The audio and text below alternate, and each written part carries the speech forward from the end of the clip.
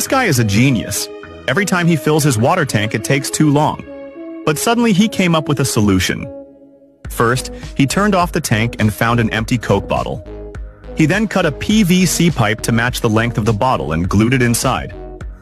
He made several of these pipes.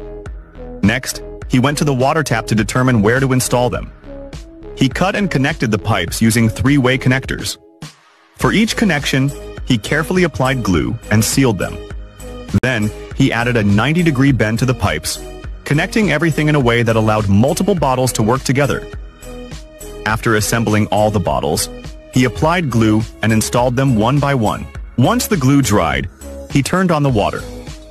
The bottles began to drain water, creating a stronger pressure than before. This clever setup boosted the water pressure efficiently.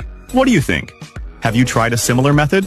If you liked this, remember to like and follow for more creative ideas.